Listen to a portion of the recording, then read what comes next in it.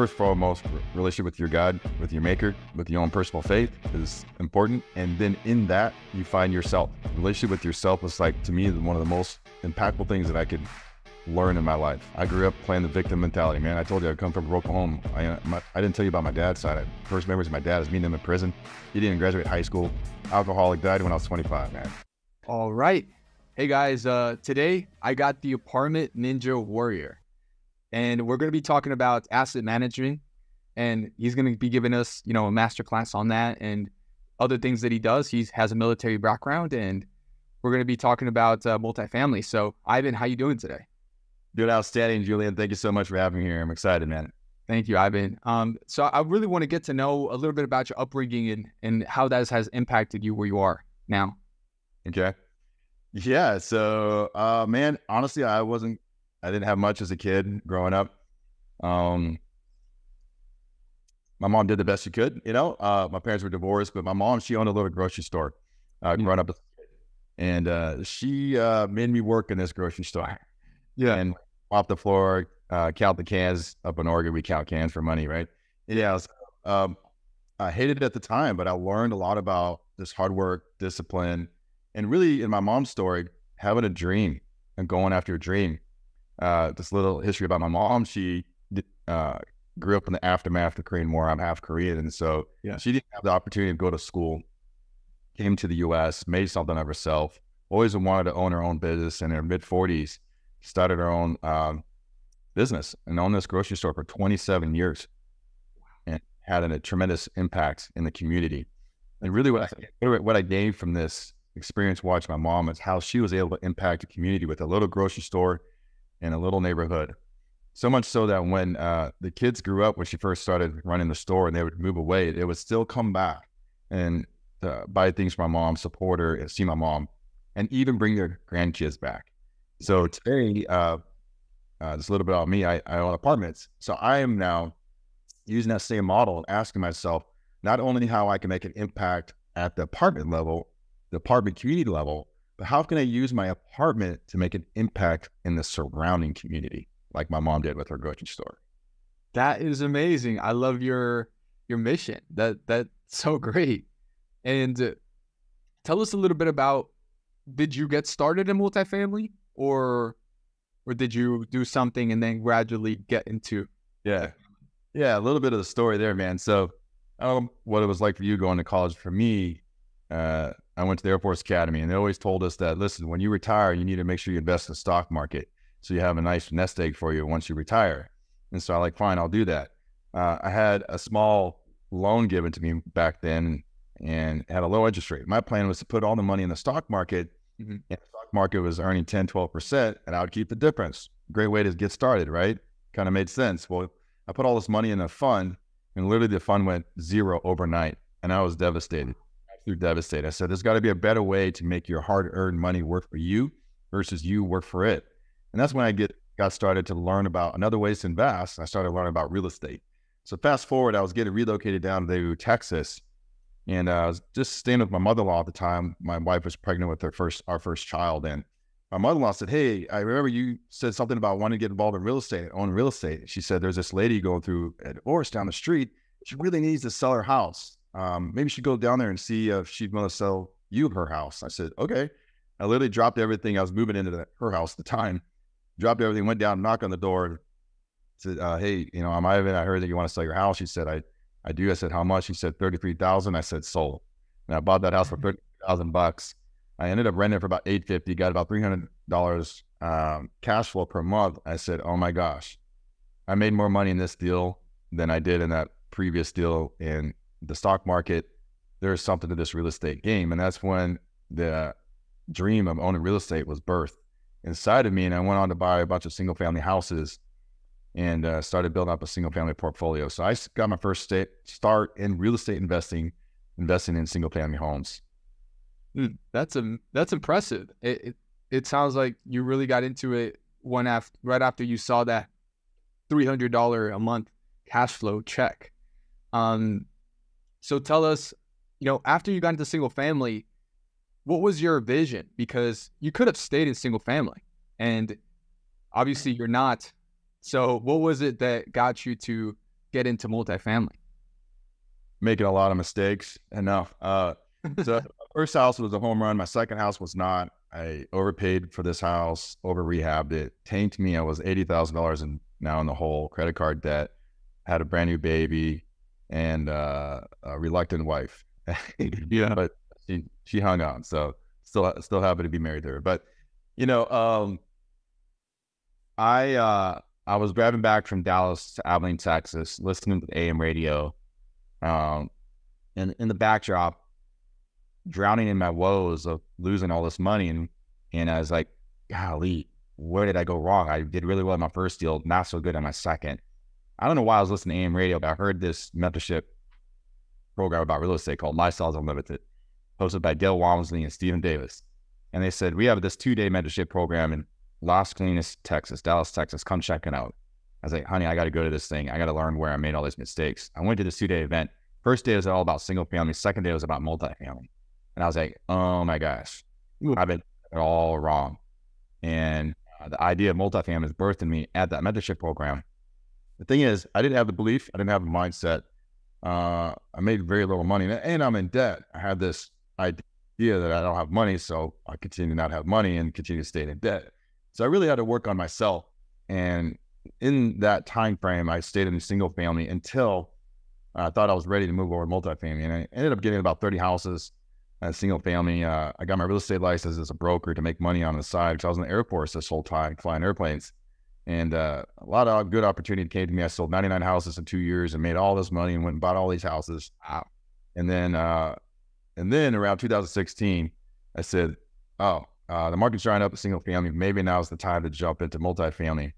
Uh, joined another mentorship group down in Dallas, and went all in, dude. Went all in, and that's one of the lessons: just go all in, commit, and really realized that I had what it takes the whole time. I just didn't believe in myself. Nine months into it, we had a first deal multifamily, three property portfolio, uh, 99 unit, 50 and a 65, 214 units total. Wow. That's when we got a first deal in 2016. Uh, fast forward, now we've been doing multifamily for about seven, seven and a half years. Uh, acquired roughly 3,000 doors, about 19 buildings, sold 14. And uh, raised around 90 million bucks on doing this and it's completely changed my life revolutionized my life uh, gave me a new purpose uh, where not only you know helping people passively invest in real estate so they can achieve their dreams but also i'm helping people learn how to do what i did focus on asset management and operations.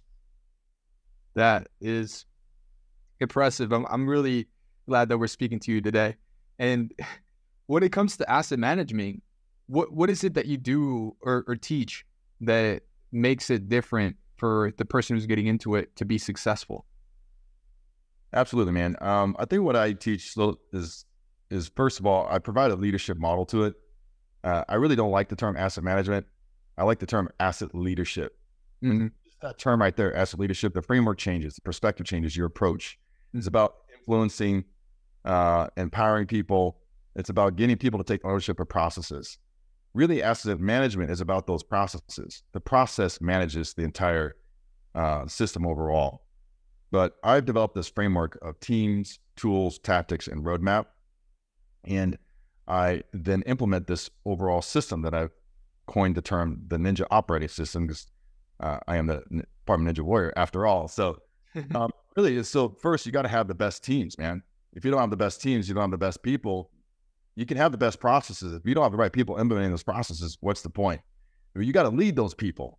You're not, you're taking ownership of the entire leadership team, property management company, general contractors, lawyers, CPA, everybody. You're taking ownership. You're the leader. The buck stops with you. The buck stops with you. So I'm putting on this framework and approaching it from a leadership standpoint. It's not micromanagement. It's getting people to take ownership of the process and making people better as a result and holding myself to the same standard. Then it's about tools. A physician has certain tools to operate on a human body. A contractor has certain tools to operate on buildings or real estate buildings. Uh, same with as an operator. You got to have specific tools. And we develop our own proprietary tools to help us operate properties in a very efficient manner. And it's about tactics. Topics are the plays, the playbook. Uh, one of the key things that I teach is looking into the future and understanding this term called exposure. or vacancy exposure. Anything that can cause exposure, evictions, NTV, skips, loss to lease, and managing your exposure. I believe a lot of asset managers, leaders, if you will, are reactive. I'm teaching a proactive model so that you're never in a bottleneck situation where you don't have enough units available. Uh, you are not meeting your projected numbers, um, and you don't have people taking control of the processes. So it's really about foretelling the future and implementing that. And then roadmap. Roadmap definitely comes in in the rehab process. And I don't believe, you know, I think a lot of people buy real estate and they don't realize that you actually have to implement a construction plan. And honestly, like hiring a construction, um, a property management company, they're really good at doing that. But I'm not about fire and forget. You still got to own the process. You're the one that's responsible to make sure you have unit deliveries in a timely and orderly fashion. It's like you're setting up a production line, like say a Toyota factory, where you have cars running through. Well, those cars are those units, and you have to deliver those units in a certain timeline and within a certain uh, budget. And if you don't, again, your business plan fails. Your first year in owning the property is the most critical year. And there's a lot of moving parts, a lot of opportunities for failure. And I think a lot of people underestimate from an operational perspective what it takes to actually correctly execute a business plan. Execution involves people and processes. And a lot of the financial models does not focus on that. So what I do is I start with the operational model, the operational strategy. We back that into a financial model. And especially when it comes to understanding economic vacancy in that first year, the economic vacancy is broken down between a lot of components loss to lease, vacancy loss, bad debt, and so on and so forth. But that vacancy loss is a controllable measure. You can control vacancy loss by having the right processes. So I developed this roadmap, this exact roadmap through a rehab project that play by play by play, step by step by step, a process and a process that works so that you can minimize your vacancy loss so you can actually produce the numbers that you say you're going to produce on a pro forma.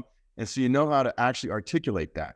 And what's the net result? And I'll end on this and we can go to your next point as I uh, continue to talk here. But what's the net result? Net result is going to buy better deals. You're going to have better returns on your investment. The net result is this: is that you're going to be able to optimize your portfolio and produce the cash flow in the time that you told your investors you're going to produce it.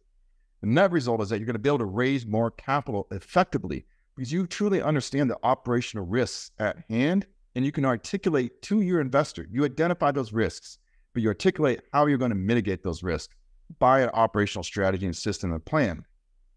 And I don't see a lot of people talking about that. I don't see a lot of people understanding that. And I can't make this up because I've done it. I've lived it. So it's real. It's inside of me. I know what's on the other side of that coin, man. I know what's on the other side of owning properties. And I just got to be transparent. It's not what everyone makes it out to be. It's buying it is so sexy and it's so cool. You put it on Facebook, Instagram. Look at me until you freaking step into that property and realize what you got yourself into. And so I'm here to help you truly understand what's on the other side so you can truly underwrite your model to accurately reflect what you're going to encounter. And you already have a plan in place where you're not sidetracked. You're not diverting from your original plan. You're not having to pivot too much because you've already determined the exact strategy that you're going to use overall. I am impressed. It, it, it's amazing. And I don't think a lot of people do talk about asset leadership as you coined it. it it's really an awesome perspective on it. And it's really interesting. And so, what kind of experience did you go through, or to get to this part of your process? Great question, man. Told you I went to the Air Force Academy. I always yeah. wanted to be a pilot. I flew B 1 bombers for 20 years in the Air Force. Not only that, you know, I, I was involved in multiple projects, multiple organizations, involved in a lot of operations, and oversaw a lot of processes. My last gig in the Air Force was uh, I was a functional check pilot, and they would take planes into a hangar, tear them apart, refurbish them, put them back together, and I was the pilot that went out and tested them out with the crew. And I was intimately, in, well, not intimately, but I was involved, and I understood, and I saw how they operated on this plane, and I was involved in these meetings called rapid improvement exercises, where would break down every single node. They would have a play.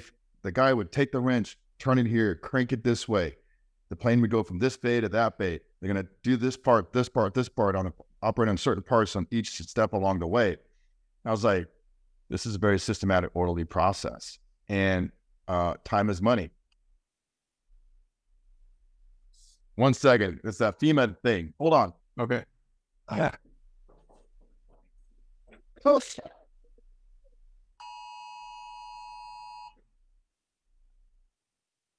Sorry about that. I live in Oklahoma and they're testing. Uh, that was a little crazy. Testing. Uh, I just got the national Uh, alert too. that's, you got the same thing. Oh, maybe it's a nationwide thing, man. I thought it was going to happen at two thirty. Now it's, I guess not. Uh, anyhow, it's all good. Shake it up. Let's go. You ready? So, yeah. Um, talking about the hangar, I'm watching how they operate on this plane in a hangar, and that gave me the model to produce my interior unit improvement plan, so I can spit out units in a timely fashion, correctly, on time, best quality, best price. And so that's just one example, right? And if you look at the military, I mean, you can have your opinion about military and all these things, fine, but it's an operation, and they operate all over the world and they have centralized leadership control at one base with people doing things all over the world. Well, why can't we take that same idea in apartments? You have a centralized hub of control. You have multiple cells, properties all over the world. You have a leadership structure operating on properties all over the, not world, I should say, nation, US, right? Yeah. And so that's where I get a lot of my thinking, my, a lot of operational experience. Imagine doing that for 20 years and I see a lot of gaps in this business, and I see a lot of opportunity for improvement. And therein lies why I'm here today and helping people uh, implement those. Pro- first, understand them, understand where the gaps are, implement those processes to create efficiencies, so that we literally can operate anywhere in the U.S. That that's amazing. I I really uh honor that you served in, in the Air Force, and I do know that a lot of the people who are the most successful have some military background. So, given that this is where you come from, it does make sense that you have a systematic approach to things, which obviously gives you an edge. So, so uh, th- that that is impressive. And this Ninja Warrior uh, name you you gave yourself is is this part of uh, something bigger? Do you do some of those Ninja Warrior? Uh, you know, I have my own, uh, I have my own academy, Part Ninja Warrior Academy, and I teach people the framework, the Ninja Operating System framework, that uses this executive leadership timeline. That it's about it's about executing with excellence, right? It's about implementing solid strategies. It's not about shooting from the hip anymore. These things are predictable, It's people and processes. So, like, would you like to have a proven playbook to help you optimize? And it's designed for people who are just coming into this business, designed it if you've been in the business for a while and you want to improve your operations and fine tune your operations, right? Um, and it's even designed for those people that want to understand uh, who are in capital raising stage, just more on capital raising. Because think about it, you're the one that are putting your money in a deal. You don't you don't have to operate the deal, but you sure better understand what the risks and how to overcome those risks and what makes a deal a good deal. So this is designed to help you raise even more money as a capital raiser. Yeah. Yeah, that is impressive. So let let's talk about um if we can, can we talk about some of the things that maybe you you you can share that Okay. allows someone to really have success at asset leadership? Yeah, let's do it. Like some some of the tactics, right? Yeah. Yeah. Um so this roadmap you in planning, operational planning, operational strategy, you always start with the end in mind. And then you got to build backwards. And everything you do points to that end goal. What's the end goal in in uh, apartment operations? Cash flow. Not per year, per month. You should understand what your net cash flow is going to be. It's there on the operational budget. If you don't understand the operational budget, then therein lies opportunity for learning, in which I teach. The operational budget is what the property management company puts together. You should understand how to build that yourself. Net cash flow at the very bottom. Then you back in your capex, your debt, asset management fees, get to NOI, operational expenses, top line revenue. So everything you do needs to produce a net cash flow, which then ties to your pro forma. That net cash flow should be above, at or above your performance. You want to over um, under promise and over deliver. So as a strategy, we always say net cash flow should be higher than what you told your investors. You got a little buffer. And then you got to be able to plan and put together entire pieces and exactly how you're going to create that net cash flow. Expenses are expenses. Labor is labor. Insurance is insurance. Tax taxes. You got R and M in there. You got um, you got R and M. You got general um, administrative stuff, and then you got uh, R and M. You got make ready. Okay, but first year, typically a lot of your rehab and everything is capex, so that's planning. Um, and then you have um, your top line piece. A lot of what I focus is on the top line piece. And what is your system and process to be able to truly understand what units you're going to rehab and how, uh, what units you're going to rehab, when you're going to rehab them, and what type of rent bumps you're going to get. So what we do is once you're under property, you pull a lease expiration report. Lease expiration report. Lease expiration report tells you exactly when every single lease is going to expire in sequential order. A rent roll goes by unit number, and you have to sort the rent roll one through a hundred, not necessarily per date. What you have a lease exp- expiration report, you can sort it by date. So we're in October. All the leases are going to come up due in October, November, December. Well, then it has uh, in place rent rate. Well, guess what? To the right of that, you can put market rent rate on an as is condition. To the right of that, then you can put pro forma rent rate on renovated condition. And then you can put your cost to rehab next to that materials and labor, which is a lot these days. And then you evaluate what is your true ROI and your ability to effectively execute that upon that. And then what you do is you look at what your rent bump is as is, because there may be in place loss to lease. You're in a growing market, what your in place rent bump as is, or what your rent bump is per pro forma.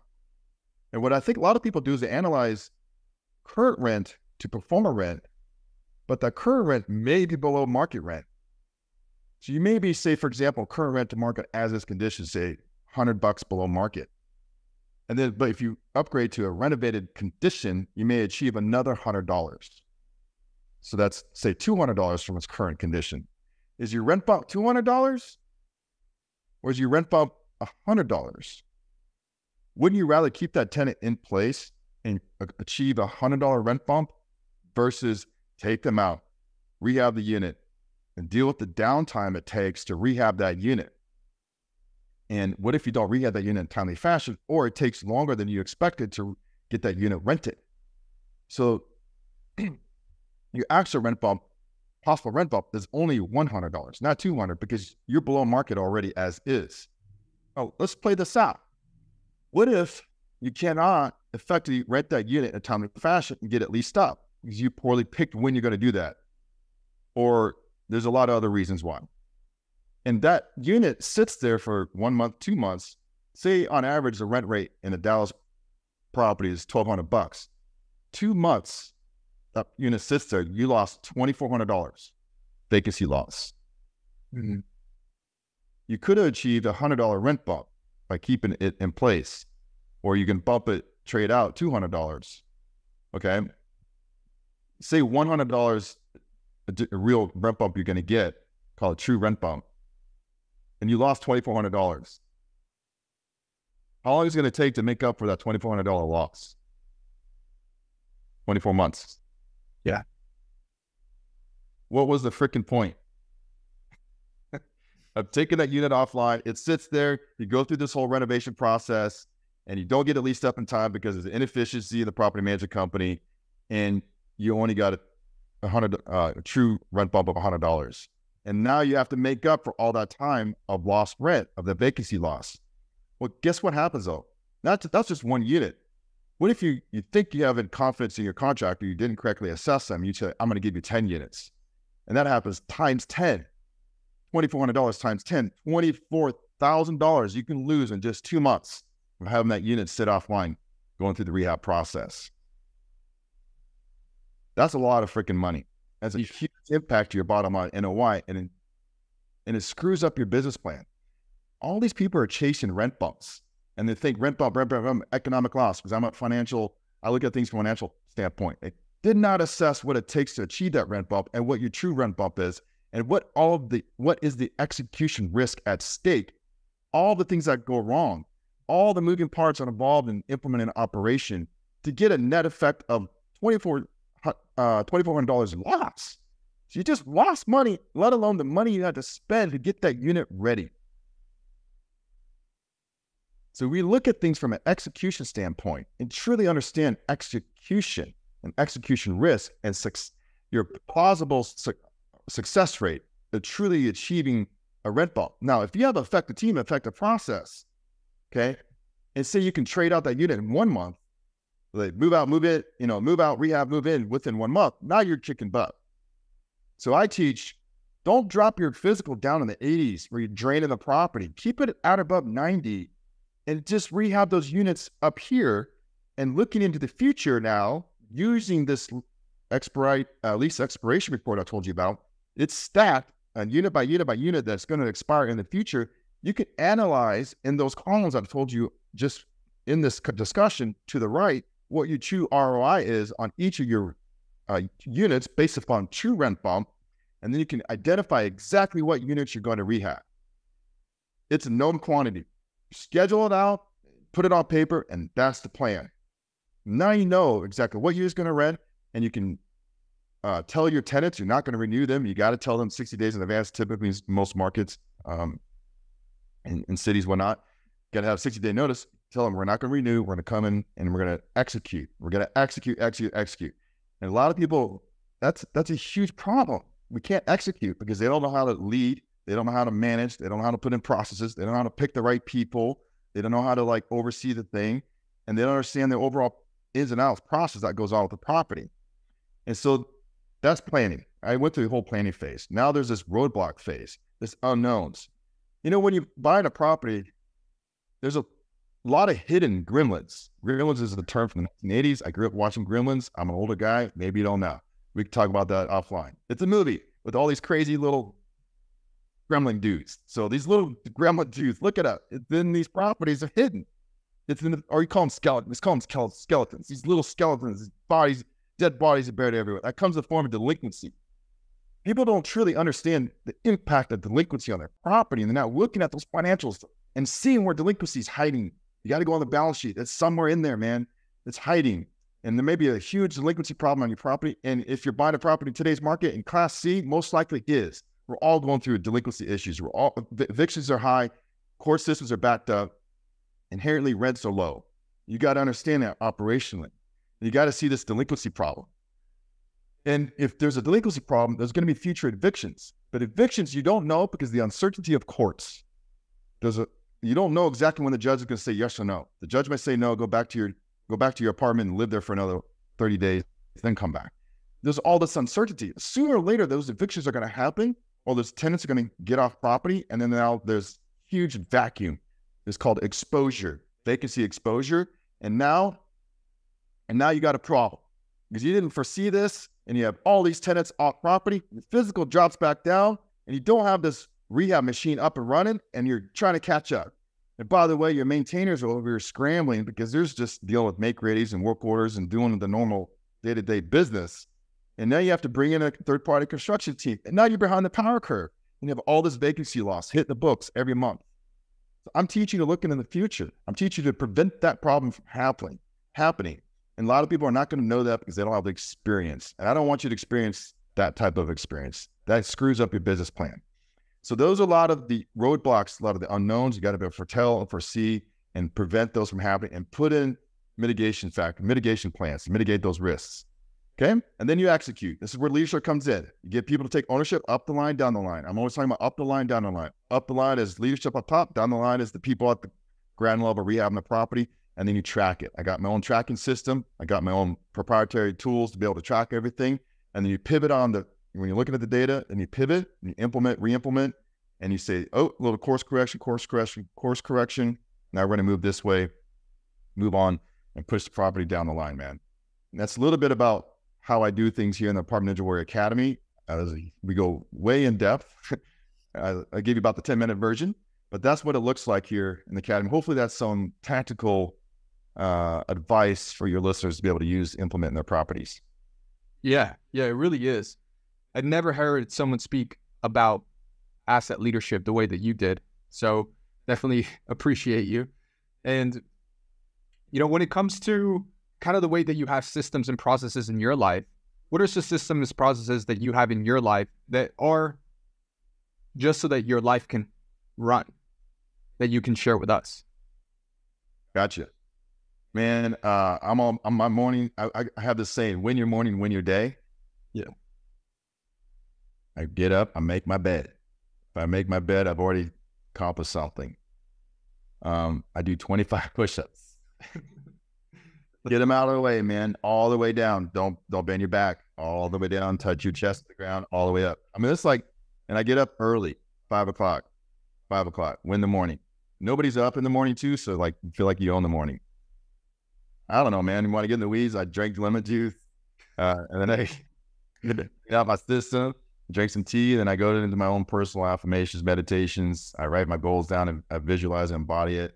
I vibrate it, man. I'm all about this stuff, dude. Law of attraction. I read. I'm I practice it daily, and I see it happening in my life, man. I had nothing, dude. I was in the hole, eighty thousand dollars, and I was running at five in the morning, losing weight back in the day down in Texas. I pointed to Texas, and said someday I'm gonna own apartments in Dallas, Texas. I'm eighty thousand dollars in debt. I have no money. Fast forward ten years later, I bought seven hundred units, three apartments back to back, massive apartments, 165, 110, and then like 200 unit prop- property, class B. This stuff works, man. So I just, I win my morning every day. And it's really about clearing yourself out. Man, and clearing yourself out is like practicing gratitude and thankfulness and uh, really making that a discipline in your life. And once you do that, then you are in a good energetic state because you're going to go out into society and you're going to make an impact. We're all called to make impacts. We're all here to make a difference. We're all here to, we got a job to do. So I want to make sure I'm right before I get out in, in the world. And last thing, I go to the gym, man. I burn, I burn my butt off here in about one hour in the gym, get the weights in, get the crutches in, get some cardio in, and then I go, uh, go to my day, dude, uh, and, and get after it. Wow. I'm, I'm really, uh, impressed with the way you have everything. And I can tell that you do have some energy that you emanate that is different from other people. It, it, Hey. it's like a shining beacon. Yeah. So so that, that that's lovely. Um, I'm glad that you're talking about that because um, some some folks don't talk about this, and and that is kind of like the oil that makes the machine work. So so it's really cool. Um, do you have some tips or advice when it comes to having a relationship that fulfills you, so that you can accomplish what you want as a as a leader in your business? Man, I was, I would say, uh, you know, work relation first and foremost re- relationship with your God, with your Maker, um, with your own personal faith is important, and then in that you find yourself. Relationship with yourself is like to me one of the most impactful things that I could learn in my life. I grew up playing the victim mentality, man. I told you I come from a broken home. I uh, my, I didn't tell you about my dad's side. First memories of my dad is meeting him in prison. He didn't graduate high school. Alcoholic, died when I was 25, man. Talking about the identity issues I had growing up. A lot of self doubt, a lot of poor image kind of stuff. I didn't realize I had the power to change it by the power of my thought and rewriting my story. I had to get my relationship right with myself. Had to get it right with myself. And once I got that right, and it wasn't even until like later on in life, man, I struggled. Honestly, all these years, I struggled. I had to, I had to really, really, really take time, take a time out, rewrite my story, and see myself from a, a better perspective, a better light, and then and then move forward. And so, relationship with your your maker, your God, your self worth, your everything stems from that place, and then you can align yourself with that. And then once you have that alignment personally and you accept yourself, it's three A's approve yourself, affirm yourself, and accept yourself. You know, as a man, you know, and a lady, you know, affirmation is important, you know, and, you know, I didn't get it from my dad growing up. So I had to go out and, you know, I found in a lot of different ways. I honestly, I turned to success. It was not healthy. I turned to success as a way to prove that I didn't need to have a father. And the, the more successful I became, the more I showed that I didn't need a, a father figure in my life. It was driven by it was driven by like my own internal hurts and, and, and anger. I had to find a lot of healing in this whole journey of myself, you know.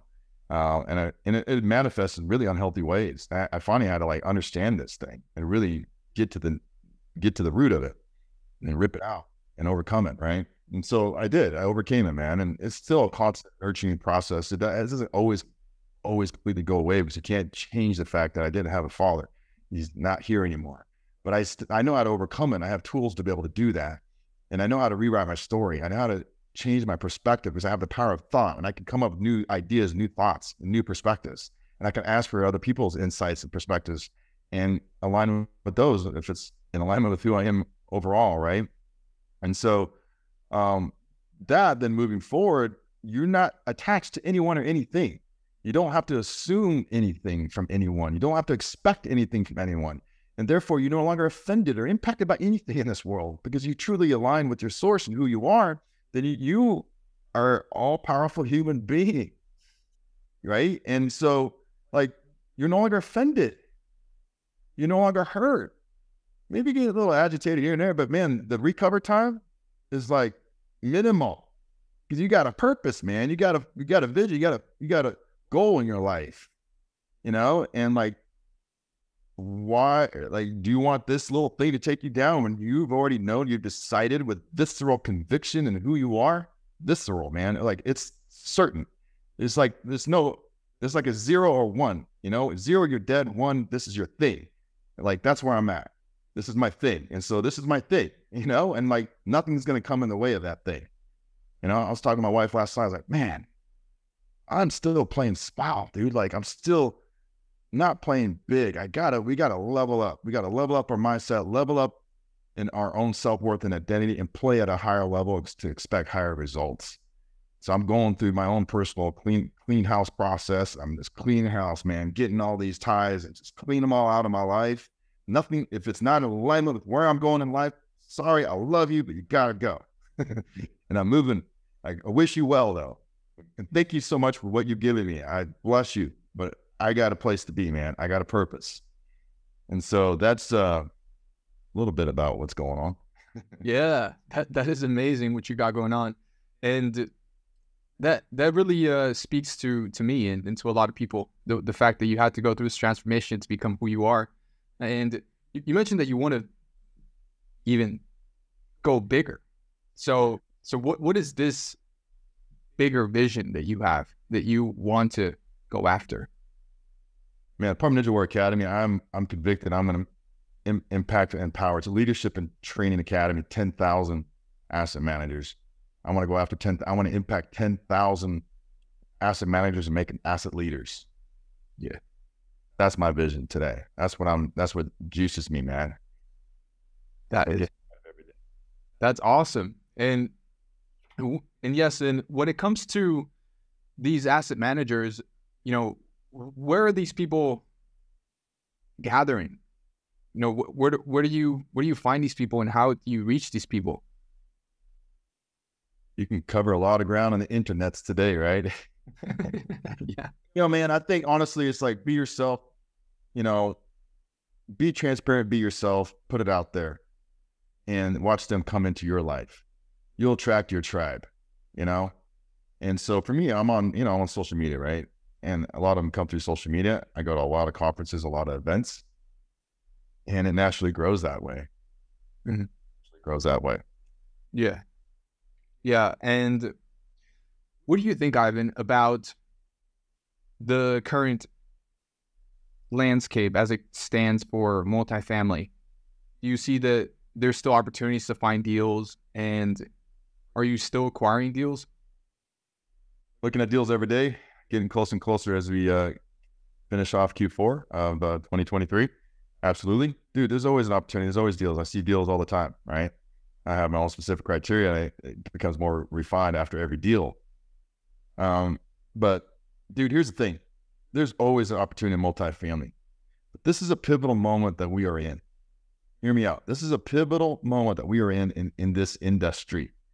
Prior to the rise of interest rates, we were spoiled. Let's be real. We were spoiled. You can buy a deal, screw it up, wake up tomorrow millionaire and move on to the next deal. And you're a hero in everyone's eyes.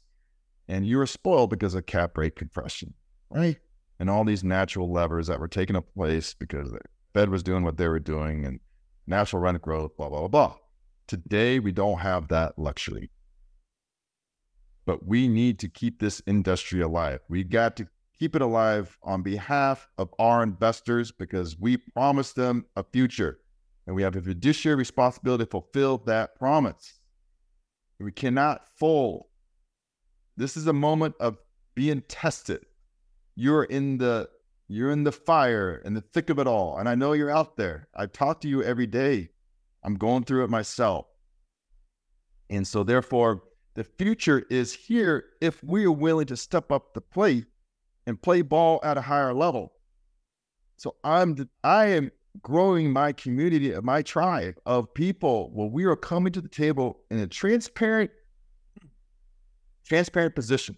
We're truly open up and sharing what we're dealing with in this industry so that other people can provide solutions to your problems, so that you can get the answers that you're looking for, so that your deal is still alive and that you have a future in this business, so that this industry can play at a higher level overall let's not make these same mistakes that we made in the past 10, 15 years in this cycle. If we all learn to play at a higher level, we will all then benefit the rewards at a higher level. We will all win. So we have to be willing to come to the table, though. We have to be willing to put ourselves in the fire and grow into the person and improve our operations, improve our systems in order to be able to play at a higher level. And so the answer to your question is dependent upon you and me and what we're willing to do. It has nothing to do with the market. Isn't that good news? Because then you can control that. Because you can control the skills you have, the focus you have, the discipline you have, the people that you partner with. You get to control all these things. And if you get to control it, then we have a future. So the answer to your question is yes, we have a future because we are the future. That's amazing. I, you couldn't have answered it better. and I, I wanted to ask you a question about this um, this criteria that you have you know, for for the first time buyer of multifamily, what do you see is as your ideal property for them that they can go after? I'm not messing with the Class C anymore. I tell you that. a lot of people out there, you mess with the Class C, and it's it's, it's a challenge. But I wouldn't be here if it wasn't for that experience. So I'm grateful for know, leveling up the the class asset class, Class B to Class A, or Class B to Class B plus, maybe A minus in there. Um, pitched roofs, no boiler chillers, individual HVACs. Uh, obviously, in that in the 80s product anywhere, you're not going to have aluminum wiring. You're not to have old fuse boxes, right? You have a little bit higher, better demo, higher demographic, higher median household income, right? At that level, you can charge a little higher rents, therefore bring in a little more sophisticated property management company and have pay a higher wages and have a good long-term leasing agent and manager to create some lease of velocity and momentum at, at your property. Obviously, great locations, the standard playbook there, right? Uh, rent growth, job growth, Midwest, Southwest, Southeast typically is good areas. But if you just become focused on one market and just own it, just own it, and then you, you you can do well in that market. If you just own it, it's a very micro business. You got to understand things from the ground level, right? But I look things from an operational perspective. Then that's the basic criteria. But then now beyond that, operationally, what has to happen for this deal to happen? And that's where I think, like, again, that's people don't understand that. So I'm looking at a property where the previous owner rehabbed the, all the exterior, rehab the parking lot, rehab the office. They did one third of the interiors. All we got to do is finish off the last two thirds, and maybe the last fifty percent of, the two thirds. If you leave some meat on the bone for the next person, I'm like, hmm, not much execution risk there. So it's plausible that I could probably pull this off and make these returns happen if I have the right team and the right processes. Versus the property that's now may not be a bad thing, but there's you got to redo the exterior, redo the roofs, redo the parking lot, redo the office. You have a lot of delinquency, so your demographics not so good. You got to kick everyone out, bring in a lot of people. Uh, make sure you're bringing a property management company that's co-located and born and raised in that submarket, in my opinion, versus from a different market. Otherwise, you're adding more risk, operational risk. Now, there's a lot of operational risk involved. Now, you may be able to pull it off because you're experienced, you have the right team, the right process, vertically integrated. There's a lot of factors why you most likely you're able to pull it off. Plausibly, you know, you have plausible chance of it happening. But if you're a new person and you don't quite understand the process, you don't have the right team, that's a lot of risk a lot of risk for an investor, even obviously, right? And so you got to be able to understand operational risks and your ability to uh, circumvent those risks and overcome those risks. The last is debt. We don't talk about debt. You know, a lot of operations, operations, but debt obviously has a huge impact on your ability to be able to operate because it takes away cash flow.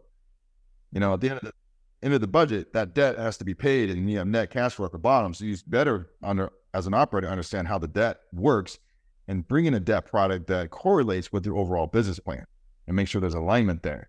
You know, if you by bringing a 10 year term on interest only and you have this defeasance, yield maintenance, or prepayment penalty that could impact your net re- returns, is that necessarily the right debt solution? Maybe, maybe not. Just depends. But as, in that example, I'm trying to say if you want to hold it less than 10 years, two to five, maybe that's not the right way.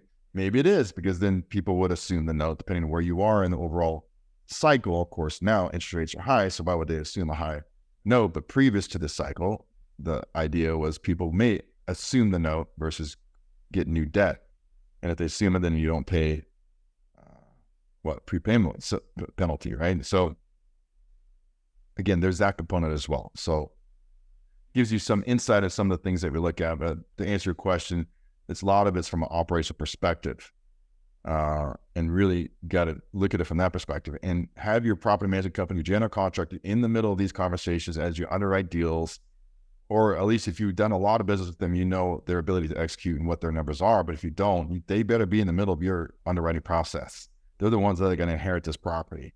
They better have a clear understanding of what it is you want to execute before you buy that thing. Right. Yeah, right. Yeah. Thanks, Iven.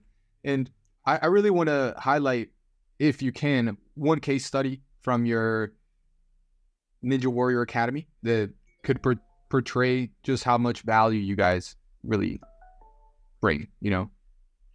Absolutely. Um, Salt Lake City had a poor demographic, is in a great submarket, Salt Lake City downtown. Um, culture was paying late, the end of the month. Uh, I saw cops twice, three times a week. Mm-hmm. That property around.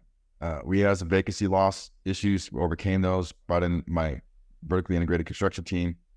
We uh, just had the most, the highest NOI that NOI that we've ever experienced in the past year and a half. We went from uh, we grew the NOI by sixty percent, ninety to one hundred forty-five thousand. We're stabilized at ninety-five. Delinquency at one point five percent. Come on, man, high five. Delinquency at one point five percent. That's crushing it. So there's no more bad debt, no more vacancy loss, and no more, um, you know, no more, uh, yeah, no more bad bad debt. So it, it all hits the bottom line. The income hits the, bottom line. Eleanor, back in 2000 in Oklahoma City, the Eleanor, we bought it 110 units, converted a common area into additional unit, a two bed, one bath, rented for $900. We spent $30,000 to add an additional unit and improved the value by $200,000, $250,000. Um, that property had an amazing manager. Talk about lead people. Her name was Andrea. She lived on site. She lived there for 20 plus years. She did such a fine job. I had no more than $500 delinquency. No more. I never saw that thing higher. Typically, it was zero. She collected fully in the first three days every time. Talk about having the right team members. Um, we bought it for 33, sold it for 66. We realized 125% total return, holding it for five years the biggest thing is that operationally, um, we realized we didn't have to rehab the units. We had so much in place loss to lease. We held on to that capex money, had some roofing issues, swapped out some roofs instead. And again, you know, we sold it for um, 125% return. So, a couple case studies there of just implementing the Ninja operating system and how it's actually been refined and perfected now over the years. Yeah, yeah, that that's amazing. Um, do you still keep in touch with some of the military people that you work with, and are they also getting into multifamily as part of their? Yeah, I do. Yeah, I do. Um, my friends that I flew with, yeah, in my my plane, and talking about it after you know sitting around in the office, and you know here we are investing together in multifamily. It's pretty cool. That is awesome. Um, so Iven, um, do you have any advice for young 20 something year olds to really get started in life towards the right direction? 100%, man. You got to know what you want. You got to have clear clarity in your life, truly understand what you want, not mom and dad, not what your friends, not what society wants. Know what it is you want. And go on that journey to truly understand that. Once you have that, and you commit to it, visceral conviction, and you give it everything. I'm the guy that cashed in the 401k, the IRA, when all my friends thought I was crazy. I went and bought mm-hmm. real. I knew I wanted to be retired once I retired from the military, not be an airline pilot. I went against the grain in my community. I went against all the grains. But that clarity is what pulls you through that mess. That clarity of knowing your why is what pulls you through. And then you got it. You got to, you got to, you got to go for it. You got to get mentorship. You got to get mentorship, man. You got to bring coaches, all kinds of mentors. I have all kinds of coaches, all mentors, any aspect, you know, personal side, professional side, business side, physical fitness, social media, you name it. I got someone in my life helping me every step of the way. Don't have to reinvent the wheel. And now information is a commodity, dude. It's all there. But really, these coaches, these mentors, you still need people to hold you accountable. It's so easy to slip and make excuses. You got to have someone kick you in the butt every day. I'm telling you. I still do. And I'm pretty disciplined guy. And I still have people that hold me accountable. Right. And so, but it starts with clarity, man. And I think a lot of people struggle with that. I really do. I think a lot of people don't know what it is they want or they're scared to commit to that. You know what I'm saying? Like me going from multi from military to multi-family is a huge leap. But once you know who you are, not to sound a little bit corny here and trite, but if you were a bird designed to fly, come on, man, you're gonna step off that perch, flap those wings. That's gonna happen, bro. But you got to know that it's gonna happen. So if you know that you know that you know, then you can overcome that fear and take that step. And one step at a time, action overcomes any type of fear. Step up. One, you know, it's consistency in the drops that causes that bucket to spill over. Daily drops in the bucket, over and over and over. Just going to the gym over and over and over. You're going through it like, man. Eventually, it pays off. Still, like every day, like, God. And then eventually, like, okay, got my drop in the bucket, you know? And then in that process, you become a different human being. You really do. You, if you want more, you got to grow to become more. You got to become it first. So you got to be willing to grow. And in that process, as you grow, all your dreams, all the thing that you envision in your life, however you envisioned it, it it happens, good or bad. You attract the good and the bad. It happens. So know what you it is, what you want in life. Yeah. Thank you, Iven. And thank you for the podcast. Where can we find you? If our listeners want to see you more, learn from you more. Yeah, man. Check me out, my Facebook group. I know you got an amazing Facebook group. Thank you so much, by the way, having me on your show. This has been amazing. But I have my own Facebook group called Apartment Ninja Warriors. Apartment Ninja Warriors come on board, come inside to the family, to the team, and learn more about teams, tools, tactics, and roadmap as I help you become a better apartment ninja warrior in your apartment operations. Awesome. Thank you, Iven. I really appreciate you having here and hope to have you in the future. And um, thank you for for for joining us. Appreciate it. Thank you so much. Uh, thank you so much. My pleasure.